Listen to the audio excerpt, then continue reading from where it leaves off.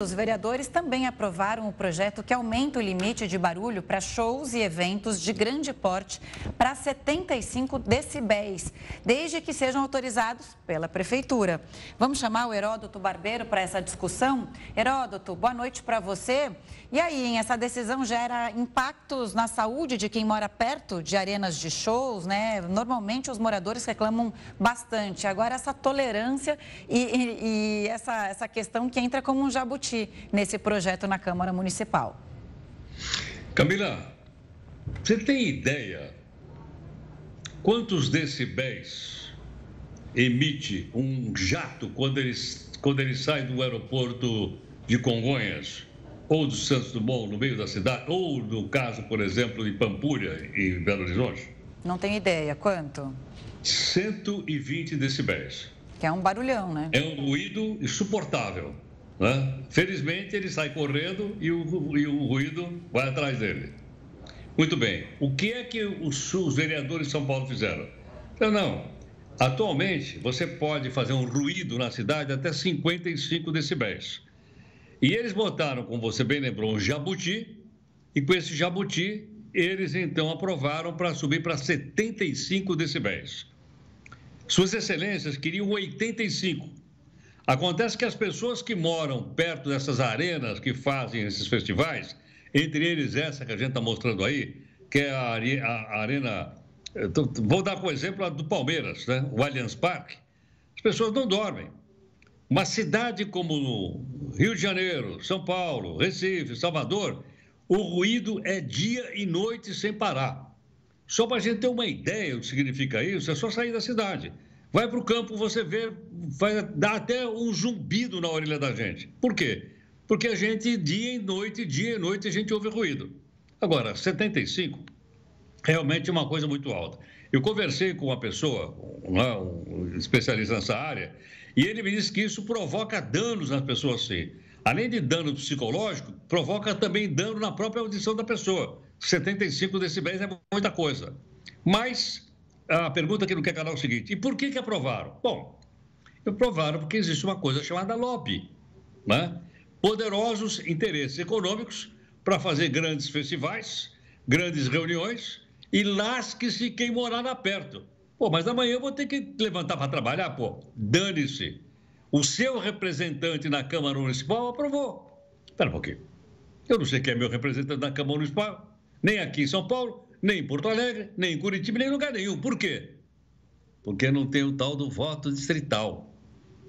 Então não sei quem é, o cara vota, fica naquela bagunça, né? e os interesses como esses, que são interesses que não uh, coincidem com a população, eles acabam sendo aprovados. Agora, tem um detalhe interessante que é o seguinte: é, foi aprovado na Câmara Municipal, o exemplo é de São Paulo, Está na mão do prefeito agora, que pode vetar ou pode sancionar. E aí, o que, que ele vai fazer? Não sei. Nós vamos ficar de olho. Mas eu acho que esse exemplo vale para todas as nossas cidades brasileiras. Isso aqui é uma república representativa. Esse pessoal que está na Câmara Municipal, não importa que cidade, eles são nós representantes, nós é que pagamos o salário dessa turma. E eles viram as costas para a gente porque não tem voto distrital. Você não sabe quem você votou. Votei num cara e elegi outro. E aí a gente vai empurrando isso com a barriga. Então, infelizmente, essas coisas passam né? e uma série de outras barbaridades acontecem por aí porque nós não temos o controle em cima do nosso representante. Olha só, ele representa a gente e a gente não sabe. E olha, falando é em barbaridade, é, o que mais me choca é porque se a gente falasse, olha, eles querem fazer shows e precisa ter o show e, e o barulho acontece. Mas desculpa, a tecnologia das arenas e de se construir algo com uma acústica que não prejudique quem mora na região, já existe, já existe faz tempo. Você tem inúmeras arenas no mundo inteiro que, se você está fora, você não está escutando absolutamente nada. Aqui então, é uma reclamação é... antiga, né? Então, Lá desculpa, dá para você fazer algo sem incomodar os vizinhos da região.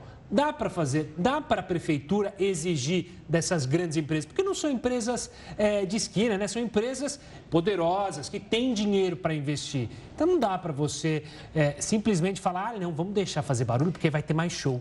Ô, gente, deixa eu falar uma coisa. O Jornal da Record fez a matéria na semana passada, né? Até a repórter Thaís Furlan. E ela fez uma passagem falando o seguinte: eles queriam 85 decibéis, hein? Aí eles aprovaram 75. E na época ela fez que esse barulho é, equivale, esse aumento de 54, que seria para 85, foi aprovado 75, é como se a gente ligasse um liquidificador, né? Num ambiente super pequeno com janelas fechadas, com a pessoa a um metro do eletrodoméstico. Imagina aquilo na, né, no ouvido da pessoa e o que isso gera na saúde. E aí a gente levantou essa questão se vai ser sancionado ou não vai ser sancionado. Foi sancionado, sim, 24 horas depois. O ah. prefeito Ricardo Nunes já sancionou e foi publicado no Diário Oficial do município. Olha, o cara é rápido no gatilho, Foi, ah, aí não, não tem, né? Porque o lobby funcionou. Porque eles querem, eles sempre são ágeis. Tá bom. Agora, Camila, só uma última coisinha que eu queria dizer. Vejam o sorriso matreiro num companheiro aí do lado. É, não, chegou num não, bom humor. Não entendi, hoje, não entendi por que a preocupação, não sei por quê. Não sei o que passa cá, é? Eu ia falar isso para você, HB, mas... É, eu, eu... Mas eu notei, assim, sabe, no rosto, é, aquele sorriso, sabe, tá 2 a 0 assim. Quero ver se sexta-feira ele eu vai estar Eu tô com uma assim. gravata azul hoje, não sei se você percebeu. azul. Mas nada. É justo, Coisa justo. do destino. A Argentina jogou bem. Pois é, quando falou que era o Lewandowski, que estava no outro time, eu pensei que aquele que era aquele da capinha preta. Não é, não, é outro. Talvez se fosse, ia ser o mesmo resultado.